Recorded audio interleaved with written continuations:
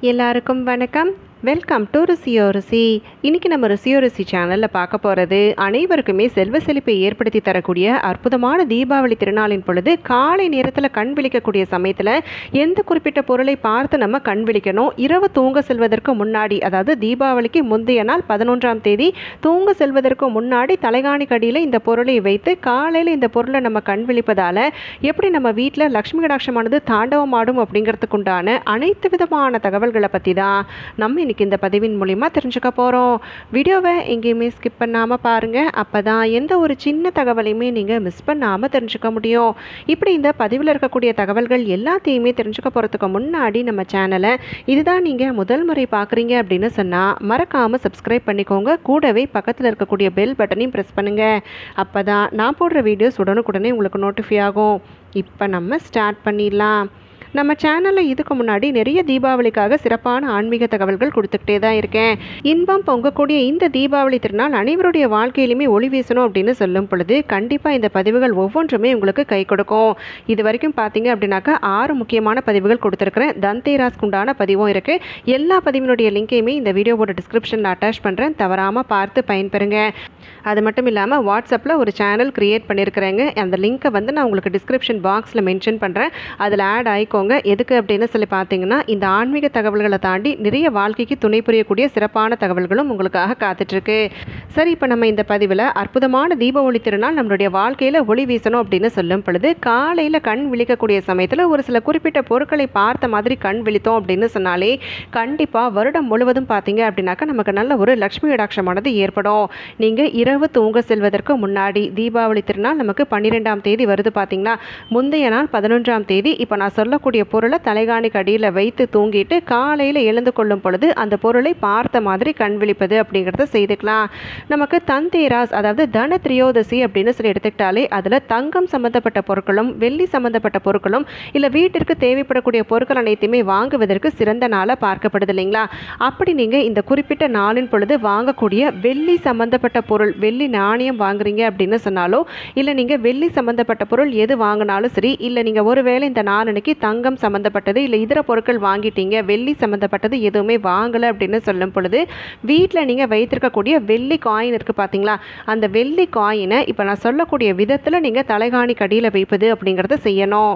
எத்தனையோ உலோகங்கள் இருந்தாலுமே வெள்ளிக்கு ஏன் இவ்வளோ முக்கியத்துவம் தரும் அப்படின்னு சொல்லி பார்த்தீங்கன்னா இந்த வெள்ளி அப்படிங்கிறது சுக்கர பகவானுக்கு உகந்த ஒன்றாக பார்க்கப்படுது. அதே சமயத்தில் வெள்ளி பொருள் நம்ம வீட்டில் இருக்குது இல்லை வெள்ளி சம்மந்தப்பட்ட பொருட்களை நம்ம வாங்கிக்கிட்டே இருக்கோம் அப்படின்னு சொன்னாலே கண்டிப்பாக அதனால் செல்வ செழிப்பானது தொடர்ந்து ஏற்பட்டு கொண்டே இருக்கும் அப்படிங்கிற ஒரு ஐதீகமும் இருக்குது இந்த காயினை நீங்கள் தலைகாணி கடியில் வைப்பதற்கு முன்னாடி அந்த தலைகாணிக்கு நீங்கள் போட்டிருக்கக்கூடிய அந்த உரை இருக்குது பாருங்கள் அதை நீங்கள் புதுசாக மாற்றணும் விருப்பையும் நீங்கள் புதுசாக மாற்றிடணும் மாற்றிட்டு அதுக்கப்புறமா தான் நீங்கள் அந்த காயினை எப்படி வைக்கணும் அப்படின்னு பார்த்தீங்கன்னா ஒரு சிவப்பு நிற வெல்வெட் பாக்ஸ் தருவாங்க பாருங்கள் இப்போ நம்ம தோடு வாங்கினாலோ இல்லை மோதிரம் வாங்கினாலோ இல்லை செயின் இந்த மாதிரி ஏதாவது வாங்கும் பொழுது ஒரு வெல்வெட் பாக்ஸ் மாதிரி ஒன்று தருவாங்க பார்த்தீங்களா அப்படி அந்த பாக்ஸுக்குள்ளே இந்த வெள்ளி நாணயத்தை வச்சுட்டு அதை நம்ம தலையணை கடியில் வைப்பது அப்படிங்கிறத செய்யணும்.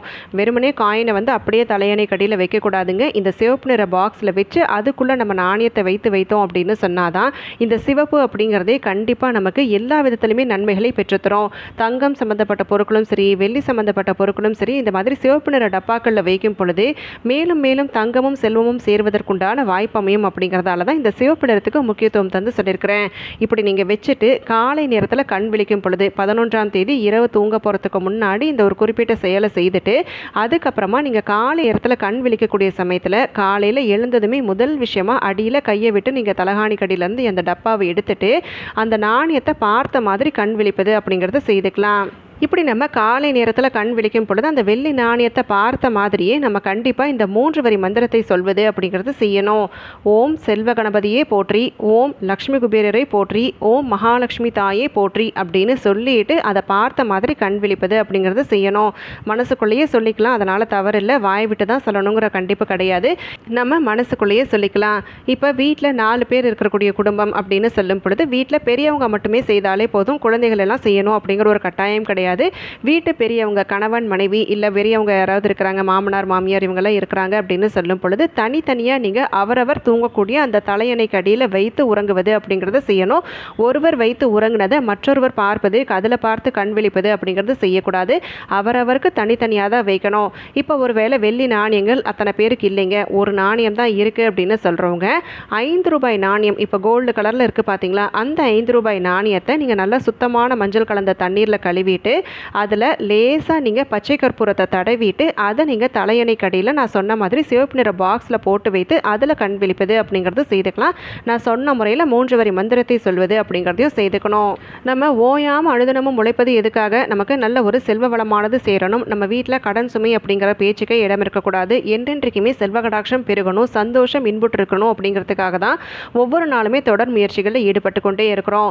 அப்படி அந்த முயற்சிகள் அனைத்துமே நமக்கு கை கூடணும் அப்படின்னு சொல்லும் பொழுது செல்வ வளத்திற்கெல்லாம் அதிபதி அப்படின்னு சொல்லப்படக்கூடிய மகாலட்சுமி தாயாருக்கும் குபேரருக்கும் உகந்த இந்த வெள்ளி நாணயத்தை இரவு நம்ம தூங்கக்கூடிய தலையணைக்கு அடியில் வைத்து நம்மளுடைய சிந்தனை முழுவதுமே பணம் பெருகணும் நமக்கு ஏற்பட்டிருக்கக்கூடிய கடன் சுமை தீரணும் அப்படிங்கிற அந்த நினைப்போடு நம்ம தூங்கக்கூடிய காரணத்தால் கண்டிப்பாக அந்த காலை நேரத்தில் நம்ம கண் விழிக்கும் பொழுது அந்த நாணயத்தினுடைய சக்தி நமக்கு அதீதமாக இருக்கும் அப்படிங்கிறதால தான் இந்த ஒரு குறிப்பிட்ட செயலை இந்த தீப திருநாளாம் தீபாவளி நாளின் பொழுது செய்கிறோம் இப்போ இந்த பதிவை கேட்கும் பொழுது இது பணம் சம்பந்தப்பட்ட பிரச்சனைகளுக்கு உண்டான தீர்வை தரக்கூடிய ஒரு வழிபாடு மட்டும்தானா அப்படின்னு கேட்டால் கிடையாது. கண்டிப்பாக இந்த குறிப்பிட்ட நாள் தீப ஒளி அப்படிங்கிறதே வாழ்க்கையில் ஒளி வீசக்கூடிய ஒரு அற்புதமான புண்ணிய நாள் இல்லைங்களா? அப்படி அந்த புண்ணிய நாளின் பொழுது நம்ம செய்யக்கூடிய இந்த ஒரு விஷயமானது நமக்கு செல்வம் சம்பந்தப்பட்ட தடைகளுக்கு மட்டும் இல்லாமல் வாழ்க்கையில் என்றென்றைக்குமே முன்னேற்றம் அப்படிங்கிறது ஏற்படுவதற்கும் அதே சமயத்தில் நமக்கு தொடர்கதையாக இருக்கக்கூடிய கஷ்டங்கள் அனைத்துமே விலகுவதற்குண்டான வாய்ப்பு ஏற்படும். அதிகப்படியான மன கஷ்டங்கள் மனக்குழப்பங்கள் இது அனைத்துமே தீரணும் அப்படின்னு சொல்லக்கூடியவங்களும் கண்டிப்பாக இந்த ஒரு குறிப்பிட்ட நாளன்னைக்கு செய்யக்கூடிய இந்த ஒரு பரிகாரம் நமக்கு நிச்சயமான பலன்களை பெற்றுத்தரும்.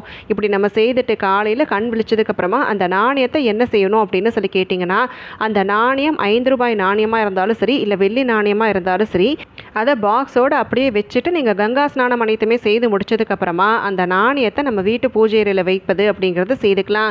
இப்போ நிறைய பேர் பூஜை அறையில் சில்லறை நாணயங்கள் போட்டு வச்சுருப்போம் பார்த்தீங்களா அதில் ஐந்து ரூபாய் நாணயம் வைத்தவங்க அந்த சில்லறை நாணயத்தோடு சேர்ப்பது அப்படிங்கிறது செய்திருங்க. வெள்ளி நாணயம் வைத்து வழிபட்டவங்க இந்த வெள்ளி நாணயத்தை நீங்கள் வைத்து வழிபாடு அனைத்துமே செய்து தீபாவளி நாளின் பொழுது செய்யக்கூடிய பூஜைகள் இதெல்லாமே செய்து முடிச்சதுக்கப்புறமா மறுபடியும் நம்ம வீட்டோட பணப்பெட்டியில் வைப்பது அப்படிங்கிறது செய்யணும். தந்தேரஸ் நாளின் பொழுது எப்படி நம்ம வெள்ளி நாணயத்தை வைத்து வணங்கிட்டு பணப்பெட்டியில் வைக்கிறோமோ அதே மாதிரி தான் இந்த குறிப்பிட்ட தீபாவளி திருநாளின் பொழுது காலையில் இந்த நாணயத்தில் கண் விழித்து அந்த நாணயத்தை நாள் முழுவதுமே பூஜையில் வைத்து வணங்கிட்டு அதுக்கப்புறமா பணப்பெட்டியில் வைக்கும் பொழுது கண்டிப்பாக நம்ம வாழ்க்கையில் தொடர்கதையாக இருக்கக்கூடிய எல்லா விதமான செல்வம் சம்பந்தப்பட்ட தடைகளும் விலகி செல்வகடாட்சம் பெருகுவதற்குண்டான வாய்ப்பு ஏற்படும். இப்போ நம்ம இந்த பதிவின் மூலயமா தீபாவளி திருநாளின் பொழுது நம்ம காலை நேரத்தில் கண் விழிக்கக்கூடிய சமயத்தில் எந்த ஒரு குறிப்பிட்ட பொருளை பார்த்த மாதிரி கண் விழிக்கணும்? அது மட்டும் இல்லாமல் நம்ம வீடுகளில் ஏற்பட்டிருக்கக்கூடிய எல்லா விதமான முன்னேற்ற தடைகளும் விலகணும் அப்படின்னு சொல்லும் பொழுது எப்படி இந்த பொருள் நமக்கு கை கொடுக்கும் அப்படிங்கிறதுக்குண்டான அனைத்து விதமான தகவல்கள் எல்லாமே தெரிஞ்சுக்கிட்டோம். இப்படி இந்த பதிவின் மூலிமா நீங்கள் தெரிஞ்சுக்கிட்ட விஷயங்கள் அனைத்தையுமே முறையாக கடைபிடித்து அனைத்து விதமான நற்பலன்களையும் பெற்று நல்ல ஒரு சிறப்பான சந்தோஷமான செல்வ வளமான வாழ்க்கையை வாழணும் அப்படின்னு சொல்லி நானும் உங்களுக்காக மனதார வேண்டிக்கிறேன். இந்த பதிவை நான் இதோடு இங்கே நிறைவு செய்கிறேங்க. நாளைக்கு மறுபடியும் ஒரு பயனுள்ள பதிவோடு உங்களை நான் சந்திக்கிறேன். அது வரைக்கும் நன்றி வணக்கம்.